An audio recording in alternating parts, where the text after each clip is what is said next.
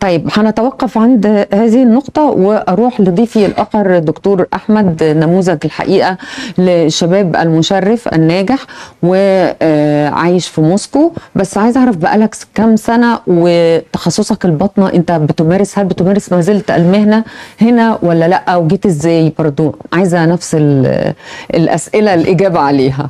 أنا النهاردة مش هسيبكم أنا أعرف كل حاجة. آه برحب بحضرتك. طبعا نورتي موسكو. أشكرك. وده شرف كبير لي إن إحنا نتقابل مع حضرتك.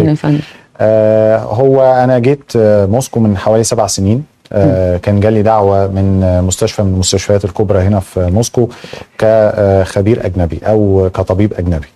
آه بدأت آه آه، أشتغل في المستشفى وبمارس ال- الطب الباطني والطب ال- العام. ده تخصص جديد. أنا كنت في مصر بطنة وجهاز هضمي ومناظير. آه، كنت مناظير في مصر؟ بالظبط. يعني على حظ أنا المناظير مش هنا؟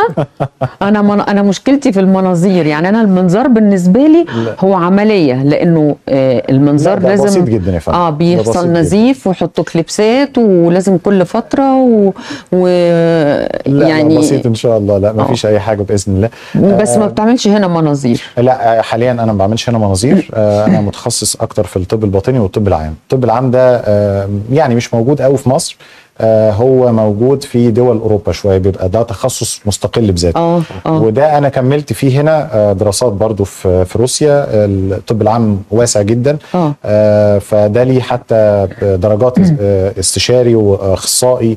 آه، زي مصر. بالظبط بالظبط آه. بس هي مع اختلاف المسميات هنا في روسيا. طيب ليه اخترت موسكو؟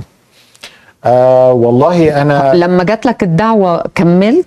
أنا كنت طبعا مش يعني ما كنتش ما حسمتش رأيي في الأول. يعني الموضوع كان في الأول روسيا دولة أنا ما أعرفش عنها حاجة. إحنا التعليم الطبي في مصر عندنا إنجليزي أمريكي.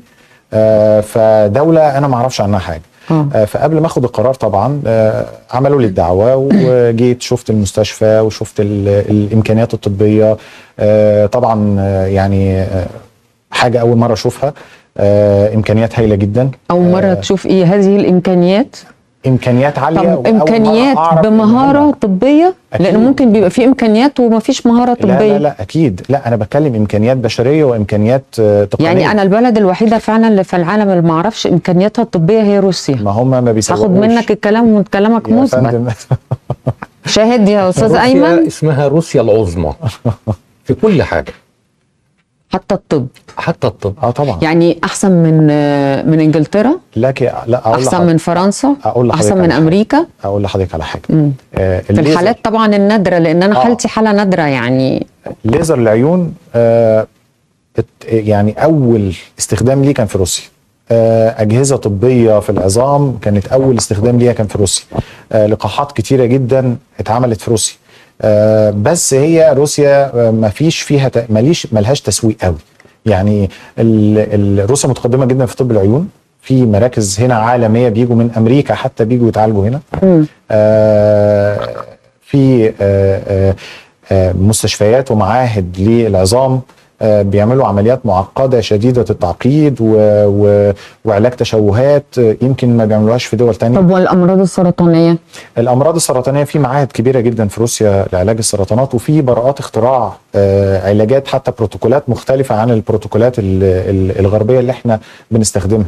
يعني هم زي إيه البروتوكولات دي؟ آه، بتبقى بروتوكولات أدوية أو بروتوكولات علاجية. يعني صعب إن أنا أشرحها بالتفصيل. مش موجودة في دول تانية. بتبقى يعني أصل أنا حاسة من ساعة ما جيت إن روسيا منفردة في كل حاجة مع نفسها بس بنجاح طبعا يعني. آه آه دي حقيقة دي آه. حقيقة. ما أنا ده اللي أنا بقوله لحضرتك إن أنا اتفاجئت بحاجات كتير أنا ما كنتش أعرفها. أنا كان كل علمي آه، أمريكا إنجلترا وفقط.